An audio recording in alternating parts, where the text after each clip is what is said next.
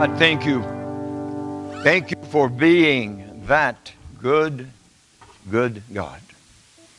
Thank you for your love. Thank you for your mercy. Thank you for your grace. Thank you for your forgiveness. Thank you for the privilege that we have, we that are sitting in this sanctuary. Thank you for the privilege that we have of being your witnesses, being your mouthpiece, being your eyes, being your feet, being your hands in this 21st century world in which we live in. God, your will be done. Your will be done in our lives, in the life of this church. In Jesus' name I pray. Amen. Thank you. You may be seated. Thank you, praise team. Thank you, Sheila. And this is a compliment, uh, uh, not that you uh, that meaning anything else by this. But you said that wasn't a worship song. So my ears began to open. Now, what's she going to do? But that indeed was a worship song. And it sounded a bit like I feel sometimes when God doesn't react to my desires, to my commands, like I want Him to. And God's timing is not my timing. And sometimes we just get all confused and we wonder, you know, God, where are you? Where are you? Don't you know that I'm talking to you? Don't you know that I'm your child? So, where are you? That is what I picked up uh, early in that song. Truly, it is uh, a worship song. Turning your Bibles today, if you will, to, to uh, uh Psalms, the chapter. And we aren't going to be reading all of that. We're just going to be picking verses uh, as, we, as we move through that. And our title, of course, today uh, on our slide is Sanctity of Life. But I'm expanding that a little further in my message, Sanctity of All Life. And you're going to hear my, my take on that as we move further through the message. I would remind you that there are a couple of things. I, am I'm, I'm very proud to be an American. I, I am. I remember that uh, song that I know maybe Merle Haggard used to sing, proud to be an American, and I am. But I'm ashamed of America for a couple of reasons. I'm very ashamed of her. And number one of those reasons is June 26, 2015. The Supreme Court declared same sex marriages legal in all states. And then the second thing that I'm ashamed of America about is January 22, 1973, the Supreme Court legalized abortion on demand in all 50 states.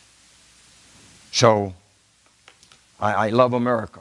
I do, and some of you sitting in the house today has even gone to battle for America. But those are, those are the two things. I know that we aren't a perfect people. That's evident as we read the newspapers and watch the news, and I know that.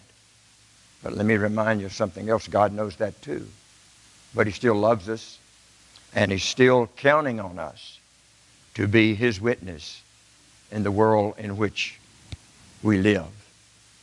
Now, I have to do another thing before we get involved in this message today. And number one, I don't know whether you call this a disclaimer or not, but this is a tough message for me to do. Not because I believe in abortion, not at all. I, I believe that it is wrong, and I know that it is wrong. But in a church our size, we're counting this group and, and the 11 o'clock group as well. In a church our size, no doubt there are people sitting in the congregation that has experienced or had an abortion. And you're here not to be beat up on. You're here to be reminded of God's love for you. You're here to be reminded that God's forgiveness, when we pray and when we ask Him. So that is why that I, one of the reasons that I've changed my message from sanctity of life, and we normally think of the life that is in the womb, and I believe that as soon as it is conceived that it is a life, I, I believe that without a doubt. And I think that it's wrong to take that life. But at the same time, I think sanctity of all life is important to God as well. What I mean by that is the people that you and I just don't like. Is the people that sometimes we fight with. It's the people that sometimes we squabble with, and we've already marked them off of our welcome home list. Life is, sanct- is, is special, it's, it's valuable because God created us in His image. And if God hadn't cared who we was, He would have made us like the animals. He could have done that. He did not. People are special to God. You are special to God. I am special to God. Don't ever forget that. And if you say, well, I don't understand, I have trouble understanding why I'm so special to God when things happen in my life like they do. Well, let me just remind you you are special to God that He sent His Son, Jesus Christ, down from heaven, where He was in the same heaven that many of our friends are already there that, according to the scripture, is a very beautiful place, is a very serene place, is a very calm place, it's a very peaceful place. But yet, God sent him down to die for our sins. Why would he do that? Because you and I are valuable to God. Doesn't matter where you've been. Doesn't matter where you are. Doesn't matter what you're planning. You're still valuable to God. Now, I said all of that to say this. Years ago, and we was in this sanctuary at that time. Years ago, I did a message on sanctity of life. And I came down pretty hard. I came down pretty hard. And there was a lady here, and I didn't hear it from her, but someone told me later that she was here that day and she had had an abortion. And, and, and I heard it from the pulpit. And that's not my job to hurt you. My job is to love you, and my job is to tell you the truth based upon God's Word. That is my job. If I'm not doing my job, you need to get rid of me. You need to do that, folks. But that lady told somebody as she left, she said, I'll never be back in that church again.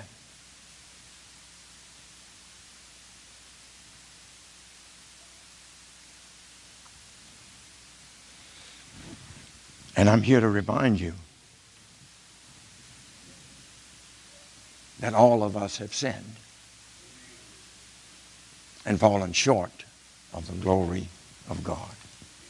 What is falling short of the glory of God? Falling short of His expectations for us. That's not just sinning. That is not obeying as well. Having said that, our title is Sanctity of All Life, and certainly the beginning of life. At, concep- at conception, life begins.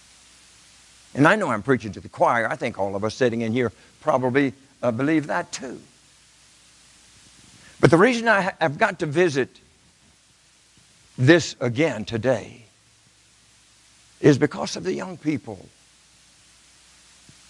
that are here, the children that are here, that you don't have to mess up your life you don't have to mess up your life. Wait until you're married.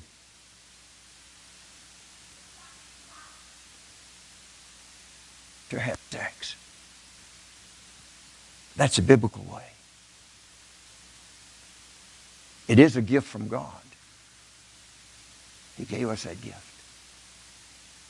And He expects us to handle it correctly. Let me read the scripture, or at least portions of it. I'm going to start at the very last two verses. A bit unusual, but the music kind of have, have led us to this point. This is one of King David's writings. Whether you know it or not, King David was not a perfect man. Probably not too many sins that he did not commit. But he loved God. God loved him. If we want to know more about David and, and, and the hurt of what he went through, then we can read Psalms 51. Don't read it today while I'm preaching, but read it later on. Psalms 51, you'll find out that David probably was one of the most hurtful men ever to live on the face. Find him pouring out his heart to God in Psalms 51. And this is after that God had forgiven him, God had cleansed them. And in 139, the last two verses, 23 and 24, David was pouring out his heart to God throughout this passage. But here he cried out, Search me, O God, and know my heart. Try me and know my thoughts. Let me ask you when was the last time that you prayed that open with God? God knows us. He knows our sins. He knows our thoughts. He knows our weaknesses. He knows our strength. But here we find David after in the Old Testament, the New Testament grace and forgiveness. David fell on his face somewhere. Search me, O God, and know my heart. Try me and know my thoughts. How transparent can one become before God? How transparent have I become before God? How transparent have you become before God? Here's a man that committed even murder.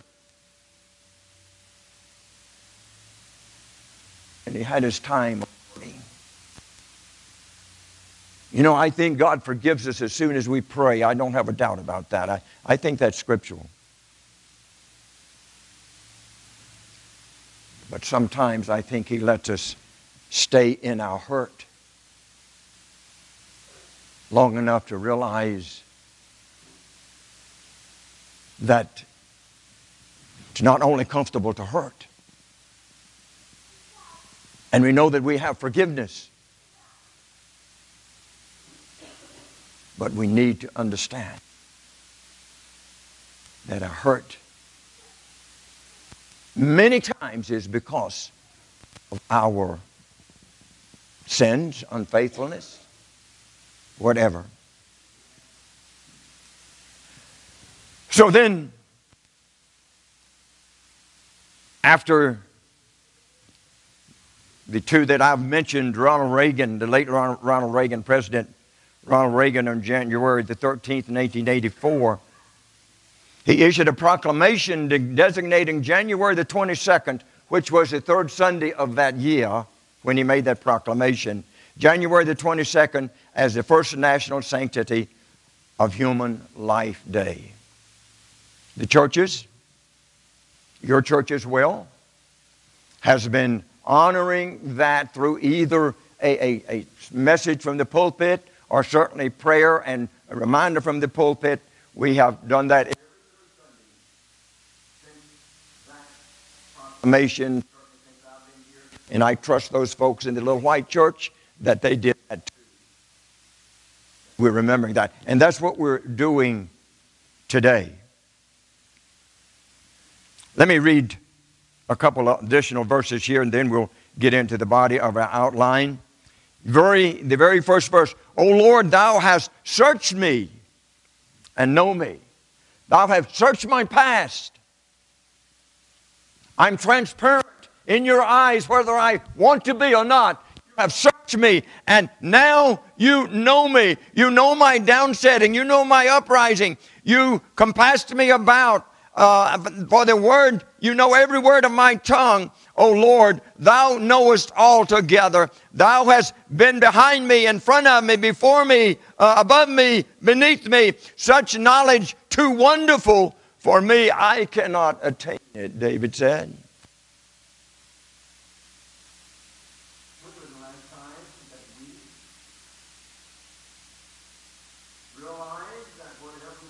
wherever we are, how secret we might be doing it, that God knows that, God sees that, and God understands that, and He's ready to forgive us. In dealing with people down through the years, I have found out that some of our biggest self imposed problems, some of our largest self imposed problems, is not accepting God's forgiveness when we ask Him. And I can find nowhere in my Bible that God delays His forgiveness. And I know I'm speaking to Bible scholars, and if you find somewhere, I would want to know that. But yet we hold on to those. They hinder our joy, which I think is a sin. John 10 10, Jesus said, The thief who is Satan cometh only to kill and to steal. Steal what? Steal your joy, steal your faith, steal your trust, steal your witness. But Jesus said, I'm come that you might have life and have it more abundantly. When I think of a life, I think of all that I need to survive, to enjoy. So that's why I think it's a sin to have joy in our salvation. Let me get let's let's get back. Well, let me read a couple of other scriptures, and I'll pick up uh, down at the uh, 13th verse. For thou hast possessed my reins Thou hast covered me in my mother's womb. I will praise thee, for I am fearfully and wonderfully made. Marvelous are your works, and that my soul knoweth right well. My substance was not hid from you. When I was made in secret, when I was conceived, it wasn't hid from you. Thine eyes did see my substance. Yet being unperfect, listen to this, yet being unperfect, and in your book all my members were written. And then David kind of closes out. All right, God, now I'm transparent before you. Search me and know my heart. Try me and know my thoughts. And see if there be any wickedness in my ways. Wow, what a prayer. What a prayer that would be. So, why is life sacred? At conception in the womb, in the mother's belly, as the belly begins to poke out, make room for the child. Why is it so sacred? I think this verse pretty much reminds us of that. God created man, humans, in his own image. In the image of God created he them.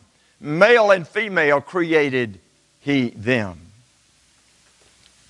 We were created in the image of God. And, and the Bible tells us that God is a spirit. We must worship Him in spirit and in truth. But here he says that we are created in the image of God. So God look something like we look. Why would he do that? Because he wanted to have a relationship with us. So whenever abortion takes place, then that person is taking a life. One of the commandments, thou shalt not kill. So that's why sanctity of life means something to us. And not only just in the womb, it means something to us when that develops and it is out visible. I don't know if you have followed the news or not, but I think it's in Roanoke. You can help me. This little two year old boy. They showed his picture, beautiful little boy. But life is beautiful always. But his mother and her boyfriend was using him, was abusing him, not slapping or beating, and I'm sure that was it because they eventually killed him. But they was using him sexually. That's why life is precious in the womb.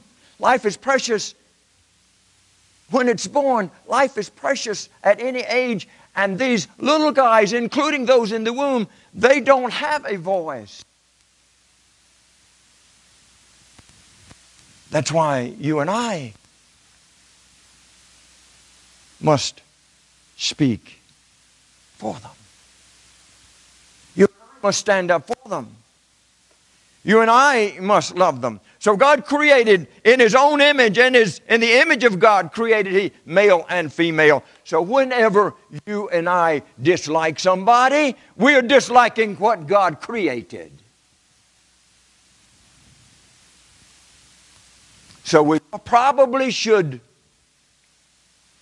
get our dislike list. Oh, we've got them up here. You say, I don't have one. I don't either. But we've got them up here. We probably should get our dislike list, and I would suggest that we write them out. Pastor Melvin, Pastor Keith, Pastor Taylor. I'm just being facetious at that. I hope they aren't your list, on your list. I think we should write that list out and then we could get this 23rd scripture and get down on our knees somewhere on our face or just sit on our butts or whatever we need to do and say, Search me, O God, and know my thoughts, know my heart. And get the things out of the way that hinders me from being who you created me to be. No matter what the past is abortion, whatever no matter what the past is. God, get it out of my way. I'm, I'm sorry. I, I want you to, uh, I know that you see me transparent. I want to stand before you. I think that's what David was doing here. He, he was just standing transparent before God. I know you know. I know too. But I'd love you to get it out of my way. Some of these I was just focusing on words, but we're going to run out of time, and I want to move very quickly on through the remainder of the message. So, God created us in His image. And then Psalms 139 14. I will praise thee, for I am fearfully and wonderfully made. Let me ask you this. When was the last time you praised God? You say today, I, I, I hope that's right. Sometimes we think this is praising God. Sometimes we think this is praising God. Praising God is getting everything out of our minds and worshiping an awesome God. When we sing, when we give of our tithes and our offerings, when we read from the Holy Scriptures, when we listen to the message, when we respond to the message, that is worshiping God. But worshiping God does not quit. When we have our benediction, we do our greetings, we walk out the door. Worshiping God really begins. See, this is like a gas station.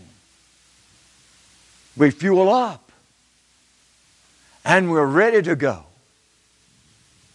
We fuel up and we're ready to go.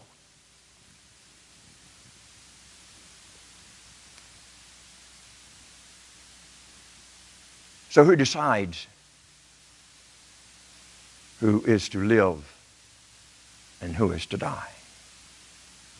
I know we pro choice, and well, we aren't. Pro life. But once that baby is conceived, it's a life and it's a responsibility of the mother and of the dad. Dad, you're involved in this too. The woman has to go through all of these problems of embarrassment and all of that, particularly if it's out of wedlock. But you're just as responsible as she is for what is taking place. So that's why, that's why I urge the young people to wait. Wait until you find someone that you love and then you marry them and then you and this is just kind of answering the question uh, that we just asked in ephesians 2.10 i think here is our answer. For we are his him being god we are his workmanship created in christ jesus unto good works. So you wouldn't tear down something that somebody someone else was building would you? No, you wouldn't. I wouldn't either. But that's what we do when we mess into God's plan. When we mess into God's plan, we tear down what God is building. The workmanship can be translated as a, as a, as a, as a project. It can be translated as, as something very special. God is still working on us even at age 89. God still working on us, folks, regardless of how young you are, how middle aged you might be, how old you might be. God never gives up on working on us and making us a better person from day to day when we allow Him to make us a better person. Sanctity of human life. Number one, God created us in His image, giving life sacred value. So when you talk about, when we talk about somebody, we're talking about somebody that God values.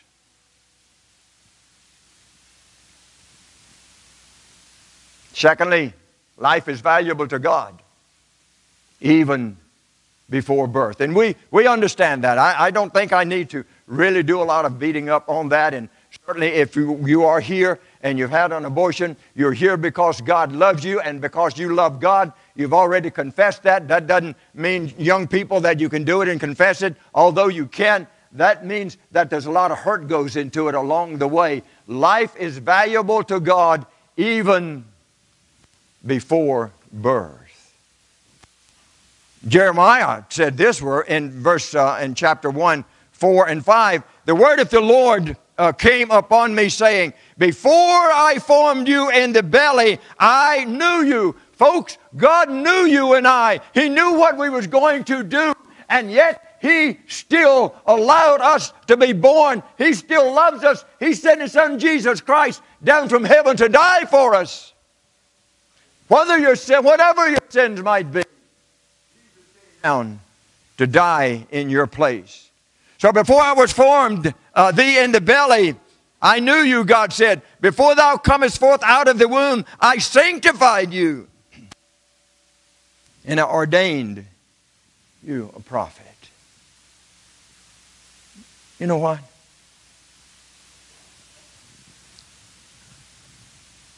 I wondered. I wondered if that was true. What? That's biblical.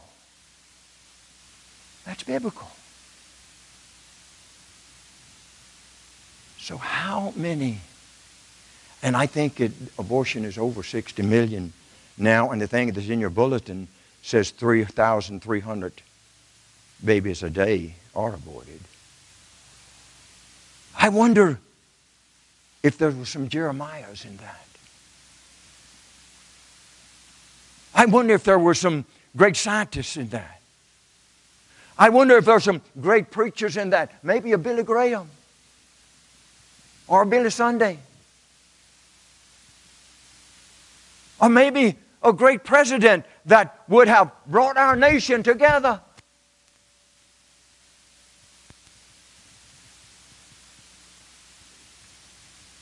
While before you came forth out of your mother's womb, I ordained thee a prophet. So I just want to remind you that God knew who we were, knew what we were going to do, but He still loves us very much.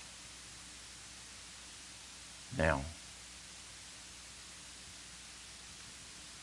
we're going to have to move here pretty quickly. I got something right at last that I really want us to do. And then the third point is being created in God's image is more than a privilege, it's a responsibility. That's why you're involved in this sanctity uh, for all life. Because it's a privilege to have been created in the image of God. And along with that image goes responsibility of living for God.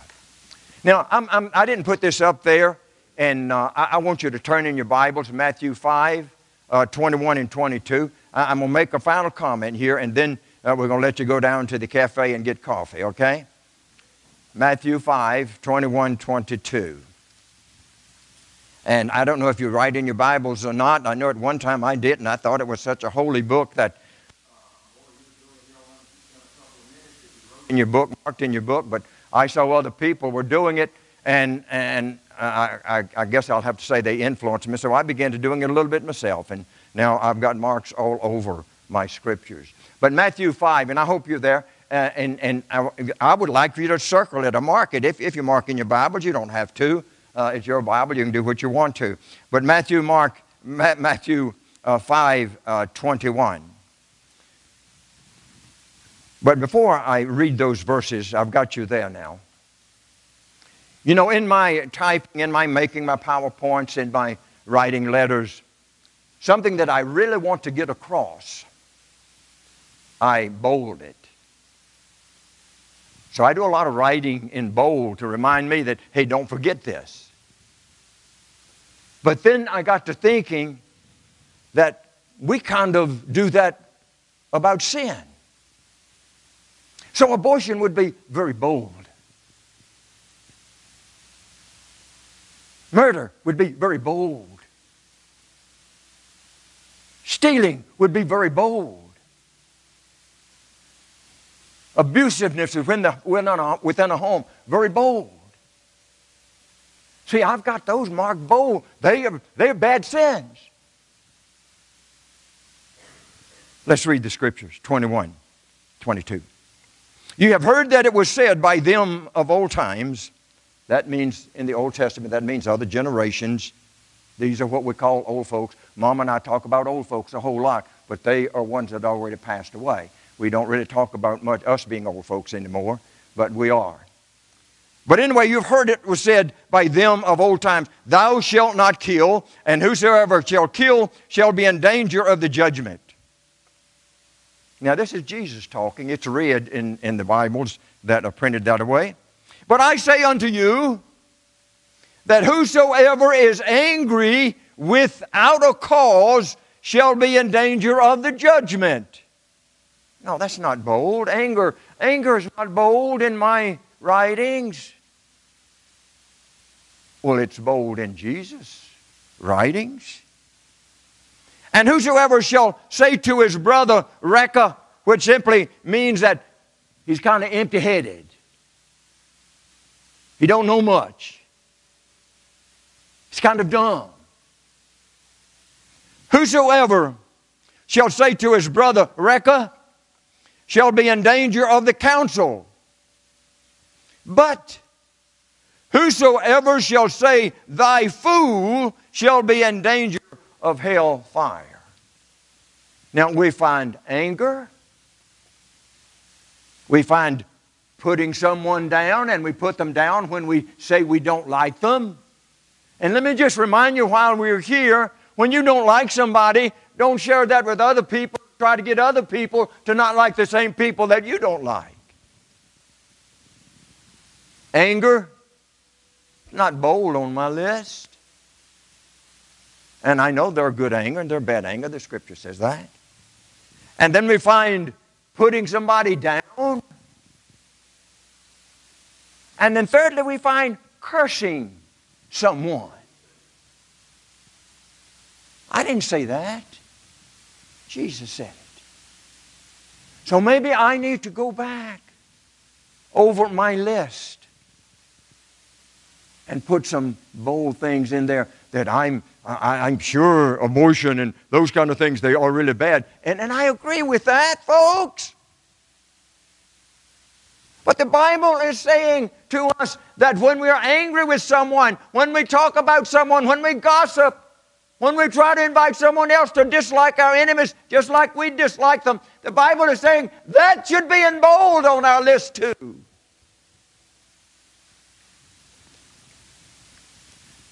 I need to get my last point up real quickly. And then we're going to the cafe. All right, let me, got there a little too quick. As we go through this week, I'm challenging you. As we move through this week, mentally place the name of each person that you encounter. encounter. Doesn't mean that you fight with or anything of that nature. Maybe your wife, maybe your husband, maybe your boss. But try using this just this week, maybe not everybody. God made Keith in his image. Would that change the way that you like or dislike that individual? God made you write that. You fill that in, in His image. Father, thank you again for our time together. I know that I've chased a lot of rabbits, but Father, if there's someone in the house here that has had an abortion, they've asked forgiveness then they have been forgiven.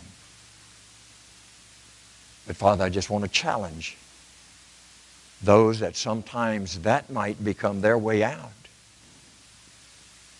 That it is wrong. It will cause them, even though Christ will forgive them, it will cause them a lot of pain and agony. The thief cometh not but for to steal and to kill, but I have come, Jesus said, that you might have life and have it more abundantly. In Jesus' name I pray. Amen. Our hymn of invitation